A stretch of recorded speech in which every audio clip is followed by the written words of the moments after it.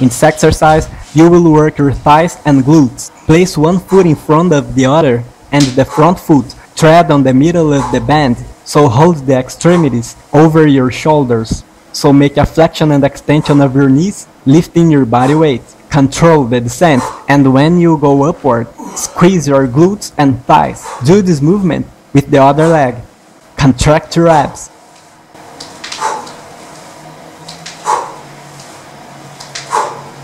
In this exercise, you will work your thighs and glutes. Stand up, treading on the band with your feet in the shoulders width.